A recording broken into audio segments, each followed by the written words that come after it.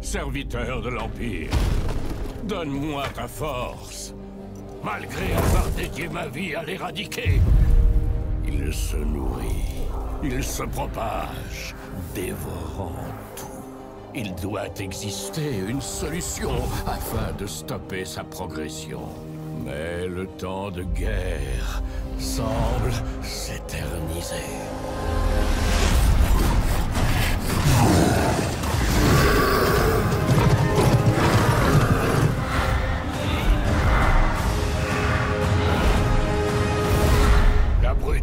Et impétueuse soif de sang des orques et gobelins. Les étranges ambitions des morts vivants.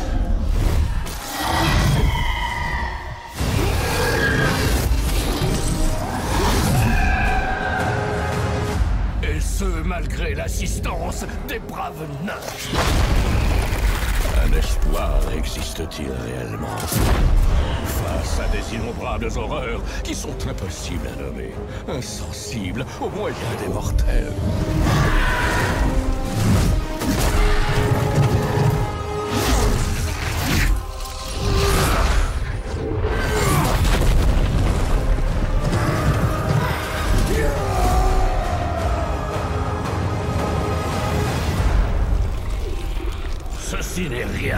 Face à ce qui est à venir. Il chuchote et rugit, tapis dans la pénombre. Contre nous, il, il ne peut être arrêté. Je ne peux être arrêté. Je le réalise enfin. Le monstre qui dévorera le monde.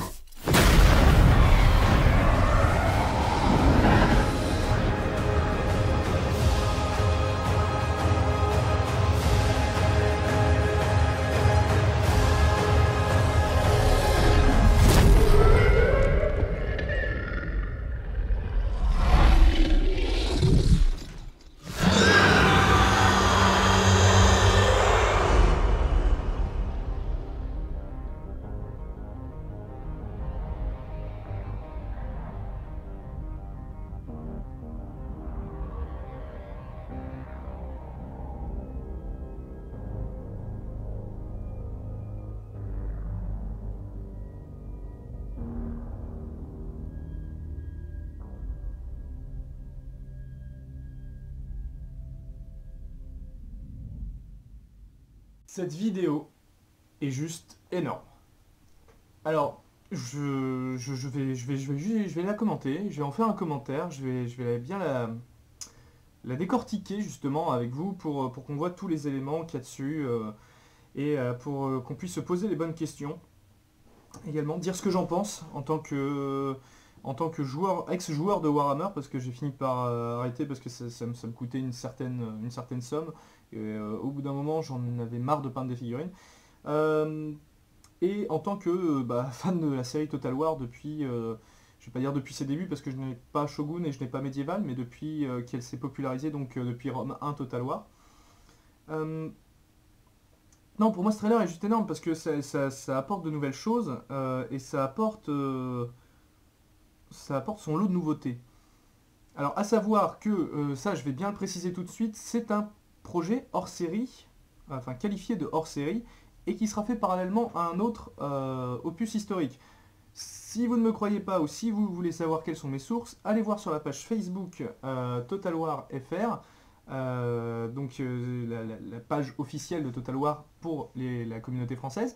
Nicosea s'est tué dans les commentaires à répéter toujours la même chose, que cet opus n'était pas la fin des Total War historiques, qu'au contraire c'était un opus considéré comme hors série, mais développé par une équipe parallèle, et donc il y avait deux équipes qui bossaient. Voilà.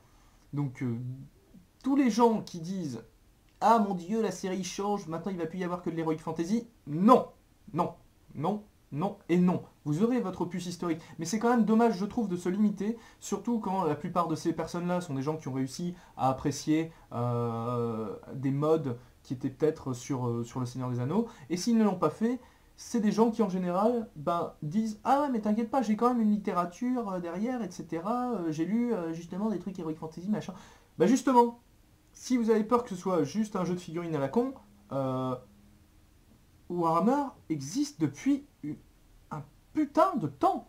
Enfin, renseignez-vous, il y, a même des bouquins dessus. Peut-être moins qu'au niveau du lore de Warhammer 40 000, et encore j'en suis pas sûr. Mais sinon, je vous invite à vous balader dans, un Game Workshop, à regarder les codex, euh, à voir à quel point ils sont fournis, regarder même le livre de règles s'il faut, euh, qui explique en fait aussi pas mal une partie du lore, ou même à vous rendre sur des sites comme là par exemple celui que je vais utiliser pour me documenter se nomme Lexicanum. Donc voilà, donc sur Lexicanum, euh, il y a pas mal de choses qui vous permettront de savoir un petit peu euh, d'où tout cela vient, euh, à quoi ça correspond, etc. Bon, on va sans plus attendre passer maintenant au... on va sans plus attendre maintenant passer à l'analyse de, cette vidéo. Hop donc, et aussi, il y, a une chose, c'est quand on me dit un Total War est forcément historique, non, c'est juste qu'il n'y a pas de droit d'auteur ou de droit quelconque sur l'histoire. Donc, euh, pour une fois qu'ils peuvent se lâcher, et en plus, Game Workshop lâche très peu la licence Warhammer Battle, voilà quoi. Dites-leur bravo plutôt. Donc on va tout de suite commencer, voilà, hop, on a l'arrivée dans le temple de Sigmar, vu que le prêtre vénère Sigmar, visiblement, ou alors c'est juste une bibliothèque, je ne sais pas, mais dans tous les cas, euh, il est en train de faire son petit, euh, son petit speech. Et donc ce petit speech, regardez, avant même que ce petit speech-là ne commence, ou plutôt que son étude ne commence, oh Un beau petit œil du chaos Un beau petit symbole du chaos avec l'œil, et l'œil en général, il est, apparenté pardon, à Tsench, il me semble. Donc euh, euh, c'est bien dommage, mais je pense que ce prêtre, effectivement, a quelques petits soucis. Hein. Et pouf, direct, il est en train de nous expliquer ce qui se passe, donc que c'est la guerre et que les orques sont juste en train, mais de bouillave à peu près tout ce qui bouge sur cette terre. Et regardez-moi cette ville en feu, quoi. Et puis il y a les créatures ailées aussi, ça c'est vraiment... Les créatures ailées, c'était justement mon... Ma grosse peur, c'était est-ce que les créatures ailées vont vraiment être intégrées euh, dans Total War Warhammer ou est-ce que malheureusement on va occulter ça euh, parce que les créatures ailées c'est vraiment une première. Euh, d'ailleurs, il faut, savoir qu'apparemment, il y a quand même beaucoup plus de squelettes qui ont été développés. donc là, je parle en termes, je, parle en termes techniques. Hein, euh, qui ont été développés pour Warhammer que pour les autres. Ce qui est évident au vu du nombre de créatures au niveau de la diversité. Mais voilà quoi, des villes gigantesques en feu, des, dragons ou, des, ou autre chose. Enfin c'est pas des dragons quoi, mais des, montures volantes, c'est sympa. Donc là, on a les contes vampires. Les contes vampires, donc, euh, qui euh, ne sont pas évidemment très très sympathiques envers la population, n'est-ce pas? Et qui ont ces fameuses montures volantes. La troisième faction, les nains, sur une image aussi ici. Voilà où était cachée la prophétie que vous deviez traduire. Euh, il y avait un event qui avait été organisé par, euh, par Total War euh, justement à ce sujet qui vous permettait de, gagner un séjour pour deux si vous aviez la chance d'être le gagnant évidemment, donc on, on, le saura bientôt. Ça durait jusqu'à lundi soir, donc hier soir. au moment où je vais poster la vidéo, ce sera hier soir. Et donc ça permettait de gagner un séjour pour deux pour visiter les studios de développement, pour enregistrer, euh, le... pour enregistrer des voix et pour enregistrer de la motion capture. Donc c'est-à-dire on vous met des capteurs et vous faites les mouvements pour les orques. Enfin je pense que c'est pour les orques vu que le hashtag qui était mis avec c'était Make Me an Orc. Donc euh, il y a eu cet event qui a été fait, j'y ai participé, ça n'a pas été facile de trouver tout de suite le truc, hein. j'ai un peu regardé, j'ai d'abord regardé si c'était pas dans ce que disait le vieux, mais finalement pour moi, c'était ça. Donc avec un ami, on a fait un petit peu de cryptologie. Merci à toi, Val. Boum Et là, directement, on vous montre que les nains sont eux aussi fort occupés avec des orques, ou des gobelins du moins, qui chevauchent des araignées. Et là, hop là, alors ça c'est important, le cas. C'est-à-dire qu'on aurait pu penser que les humains, je vous ai, je vous ai parlé de l'Empire, là regardez bien les, euh, euh, les initiales. KS. Alors KS, je suppose que c'est pour Kislev. Alors, qu'est-ce que c'est que Kislev? Bah, Tout simplement, c'est l'une des parties euh, de l'Empire. Donc Kislev est un royaume nordique aux forts, accents russes et polonais. Ses lanciers ailés ressemblent aux hussards ailés de la Pologne médiévale. La capitale de la dynastie des Tsars est Kislev, fondée par l'ethnie dominante, les Gospodars. Les autres principales villes sont Erengrad et Prague, cette dernière ayant été rebâtie après la destruction totale par le chaos à l'époque de l'empereur Magnus le Pieux. Les grandes plaines du nord sont quant à elles le territoire de l'ethnie Ungol, grand cavalier et archer nomade. Voilà, monture est encore. Ensuite, on a encore cette charge avec les géants derrière. Et là, très important, très très important, donc je vais faire un arrêt sur image là aussi. Regardez ça. Donc là, on a euh, un magicien qui vient de balancer son sort. Sauf que, visiblement, je ne sais pas si ça a été très utile, mais ça n'a pas été super puissant. Alors justement, le prêtre dit que les mortels n'ont apparemment aucun pouvoir là-dessus. Moi, j'ai l'impression que ça a juste fait un gros flop, son sort. C'est-à-dire qu'on a vu un pauvre, orc, se balader, mais que ça n'a pas rompu du tout la formation euh, comme attendu. Donc là, on a justement euh, les fameux hussards qui sont passés à l'assaut. Et on arrive euh, à ce petit passage où, d'un coup, eh ben, le prêtre, il lui arrive des misères, hein. visiblement. Il est en train de se faire un peu corrompre beaucoup. Je vous avais dit, hein, le... donc Tsench est le dieu du changement. Et donc voilà, hop là, conversion terminée. On éteint les bougies pour un petit, pour un petit rythme. Et écoutez bien, écoutez bien ce qu'il a dit, le monsieur. Euh, revenez, revenez au début de la vidéo pour réécouter, mais il dit euh, il ne peut être arrêté, et après cette transformation, je ne peux être arrêté, je ne peux être arrêté donc en gros, il est habité quasiment par un démon de Tsench, si ce n'est euh, si ce n'est juste Tsench lui-même. Je doute que Tsench lui-même ferait ça. Et du coup, voilà, là on a encore la magie avec une belle invocation. Nos règles ont changé, tu m'étonnes. Et voilà. Bam Et donc ça, c'est juste un duc du changement. C'est considéré comme un démon majeur euh, de Tsench. Voilà. Donc euh, ça aussi, c'est les gros avatars qu'il peut y avoir dans, l'univers de Warhammer. Euh, le duc du changement, c'est... ce sera une chier s'il faut buter cette chose. Et enfin, on finit, on finit sur le blason de Total War Warhammer.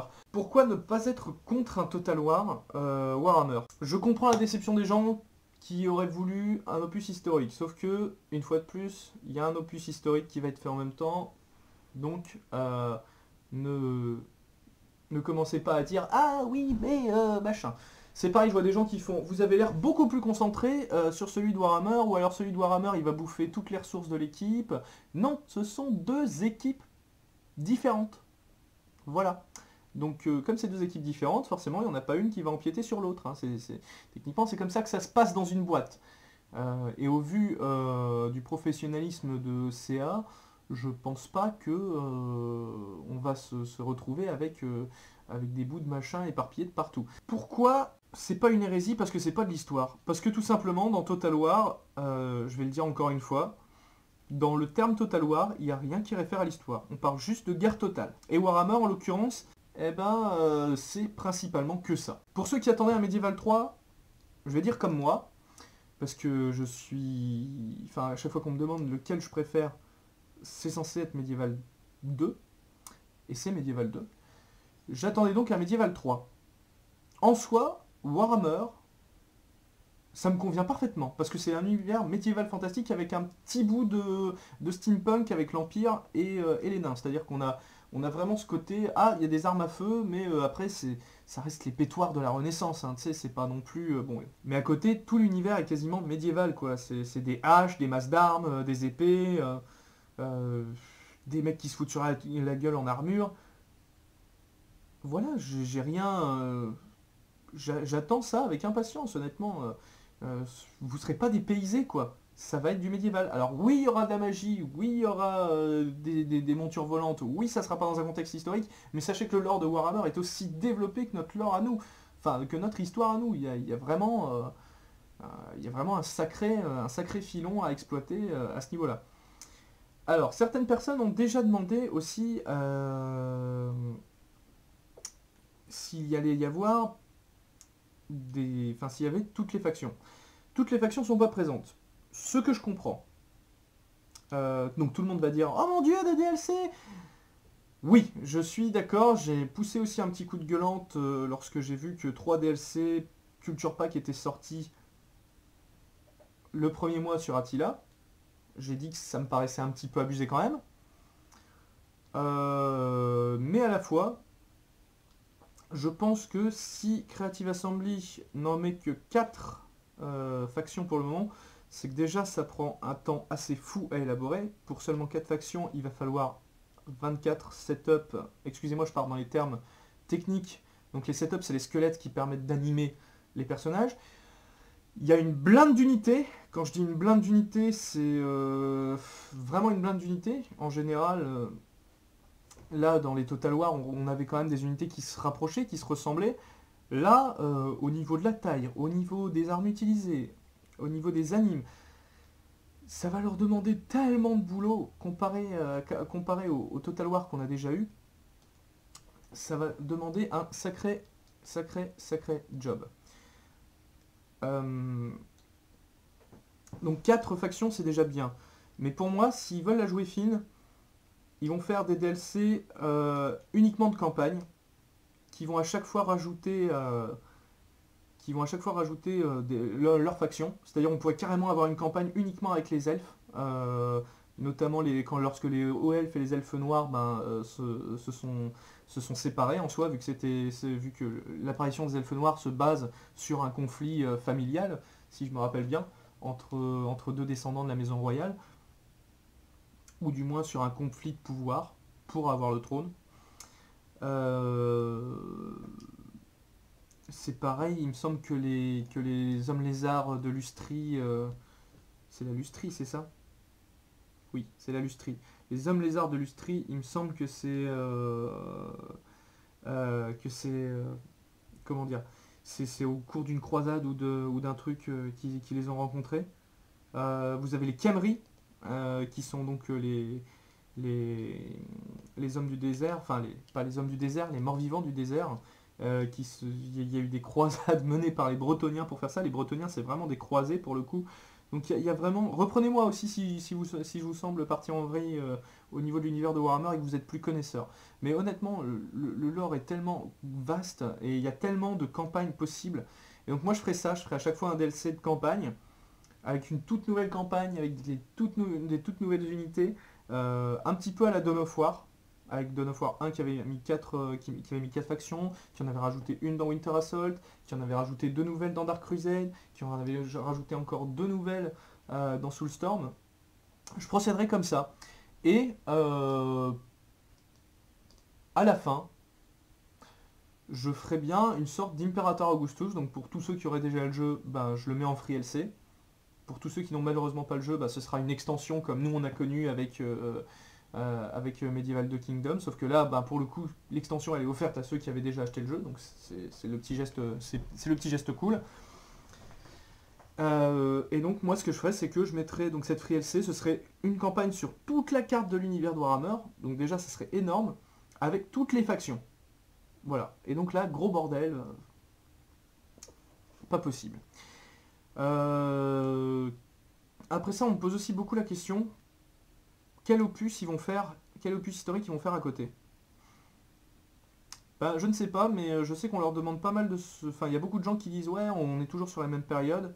Il y en a qui voudraient sur la Deuxième Guerre mondiale. Ça ne m'intéresse pas, personnellement. Il y en a qui voudraient sur la période victorienne pour faire quoi? Je ne vois pas non plus euh, de, grand, grand intérêt. Euh, moi, je verrais plus sur des, on change on change d'endroit. on va aller sur euh, soit l'Asie, enfin moi c'est ce que c'est ce que je pense qu'il serait intéressant de faire. Euh, donc c'est tout. Hein.